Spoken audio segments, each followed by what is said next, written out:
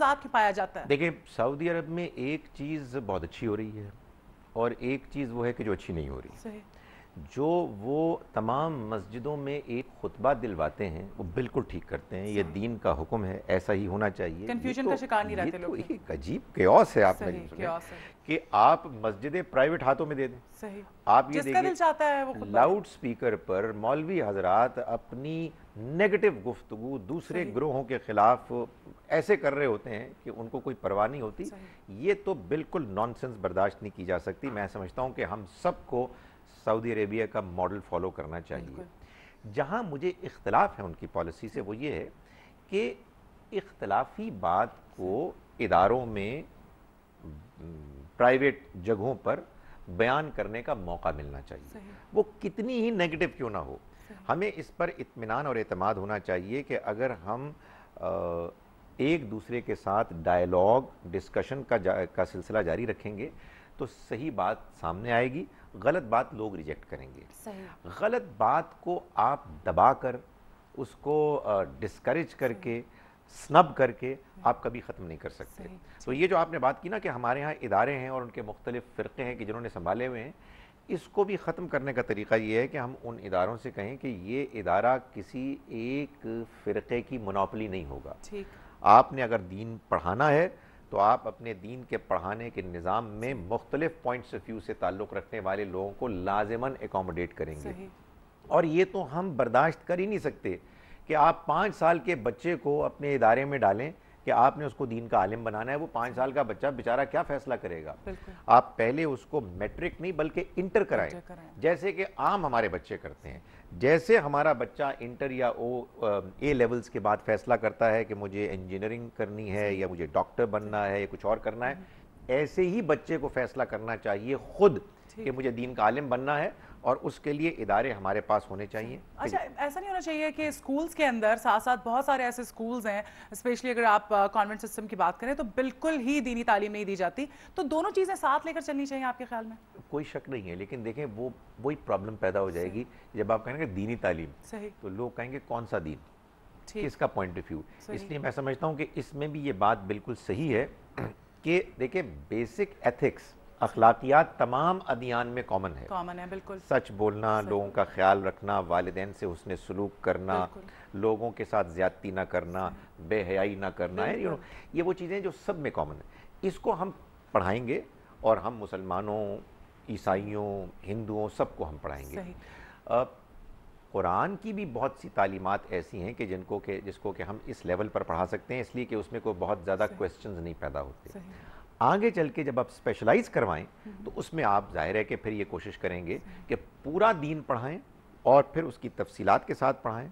उसमें डिबेट हो क्रिटिकल तरीका इख्तियार किया जाए समझने का मुख्तलिफ़ पॉइंट्स ऑफ़ व्यू को बयान किया जाए स्टूडेंट्स को चॉइस दी जाए कि वो अपनी मर्ज़ी से अपना पॉइंट ऑफ़ व्यू इख्तियार करें और ये बात तो मैं समझता हूँ बैंड होनी चाहिए कि आप किसी को फोर्स करें कि तुम ब्लाइंडली किसी एक स्कॉलर या एक स्कूल ऑफ़ थॉट को फॉलो ना, ना फॉलो करो। अच्छा डॉक्टर साहब एक बात मुझे बताएँ अचानक से दिमाग में आ गई। मैं बड़ी परेशान थी इस चीज़ को लेके कि एक चीज़ ये सामने आई है कि अ, मेरा भाई भी सऊदी अरब में होता है कि वहाँ पर जो होली कुरान है उसको वो अ, मतलब ज़मीन में भी रखा होता है बड़ा अ, गोद में रख के बैठ जाएँगे बगैर वज़ू के भी खोल के पढ़ लेंगे। अच्छा हमें शुरू से ये बताया गया कि जी ये होली बुक है तो इसको बहुत पाकिजगी के साथ एहतराम से रख के बैठना है पाँवों पर भी नहीं रखते उठा के उसको ऊपर रखा जाता है। ये चीज़ मुझे बड़ी परेशान कर रही है और बल्कि अभी रिसेंटली मेरी लड़ाई भी हो गई फ्रेंड से। बिकॉज़ वो जिस स्कूल ऑफ़ थॉट से हैं और जो उनका एक जो फ़िरका है तो वो हमेशा ये बात करते हैं कि कोई फ़र्क नहीं पड़ता। आप अगर वज़ू नहीं भी किया हुआ तब भी आप उसको खोल के पढ़ सकते हैं। इस बारे में कुछ अरे ये एक बड़ी अच्छी मिसाल है इस चीज़ की कि आखिर स्कूल्स ऑफ़ थॉट और फ़िरक़े और मुख्तलिफ़ पॉइंट्स ऑफ़ व्यू बनते कैसे हैं। देखिए दीन में बाज़ चीज़ें हैं जो क्लियर अहकाम हैं। नमाज़ पाँच वक्त की पढ़नी है रोज़ा रखना है हज करना है ज़क़़त देनी है दूसरों का एहतराम करना है सो ऑन एक लिस्ट है जिसमें कोई इख्तलाफ नहीं है और उसको तमाम मुसलमानों को करना चाहिए। ये नहीं कि अगर फ़र्ज़ कीजिए कि आप मुझे देख रही हैं कि मैं नहीं कर रहा तो आप ज़बरदस्ती इम्पोज करें। ये भी हमारे एक बीमारी है। इसके अलावा बाज़ चीज़ें वो हैं कि जिनका ताल्लुक आदाब से है जिसका ताल्लुक जज्बाती वाबस्तगी और उसके इजहार से है। इसमें कोई कानून नहीं होता। देखिए ना मुझे अल्लाह की किताब से मोहब्बत है। मुझे अल्लाह के पैगंबर सल्लल्लाहु अलैहि वसल्लम से मोहब्बत है। मैं उसका इजहार करता हूँ। इसमें तो सिर्फ़ ये चेक और बैलेंस होना चाहिए कि उस इजहार का कोई तरीका ऐसा ना हो कि जो दीन के अहकाम और पॉलिसीज़ के ख़िलाफ़ हो प्रिंसिपल्स के ख़िलाफ़ हो। तो कुरान को पढ़ना बावजू होकर कुरान मजीद को ज़मीन पर न रखना कुरान मजीद को जब भी रखना तो उसकी तरफ़ पीठ ना करना। खाना काबा की तरफ़ पैर ना करना ये बहुत अच्छी चीज़ें हैं। ये आदाब हैं। लेकिन ये हमारे दीन में शरीयत और हुक्म नहीं बना हुक्म नहीं तो अगर फ़र्ज़ कीजिए कि आपका ये पॉइंट ऑफ़ व्यू है और आप मुझे इसकी खिलाफ वर्जी करते हुए देखती हैं तो आप मुझे बड़ी नरमी से समझाएँ। मगर फिर मुझ पर छोड़ दें। इसमें झगड़ा नहीं किया जाएगा। सही। हम अपने तौर पर एहतियात करेंगे हम अपने तौर पर एहतराम करेंगे। मैं इसका बहुत कायल हूँ कि अल्लाह के कलाम के साथ अल्लाह के पैगंबर सल्लल्लाहु अलैहि वसल्लम के साथ अल्लाह की अल्लाह के घर के साथ एहतराम का रवैया होना चाहिए। लेकिन अगर फ़र्ज़ कीजिए कि किसी को ज़रा इससे हटता हुआ हम देखें और वो दीन के हुक्म की खिलाफ वर्जी ना हो तो बस हम उसको समझाएँ ना कि इम्पोज करें। सही ठीक है। बहुत शुक्रिया। यहाँ पर हम एक कॉल ले लेते हैं। जी अस्सलाम हेलो है आप मैं बिल्कुल ठीक ठाक। कौन है हमारे साथ? मैं बहन गुलाम हसन बोल रहा हूँ कराची से कैसे मिजाज हैं आपके भाई? अल्लाह का एहसान है मेरी बहन बहुत दिनों से आपको सलाम नहीं किया था मेरा सलाम आपको बहुत शुक्रिया खुश हो गई हूँ मैं आपने सलाम कर दिया काफ़ी दिन बाद बात हो रही है। जी अच्छा और जो डॉक्टर साहब हैं ये मेरे बड़े फेवरेट हैं। अच्छा बहुत अच्छे लगते हैं हमारे भी बड़े फेवरेट हैं। तो मैं बाकी असल में मेरा दिल बड़ा मतलब इस वजह से बड़ा दुखा हुआ है खास तौर पर सरकारी मशीनरी को देख के कि अच्छा। पाकिस्तान के हर सरकारी महकमे में पढ़े लिखे लोग ही बैठे हुए और जो उनके करतूत है, वो आपके सामने है, सारी दुनिया के सामने है।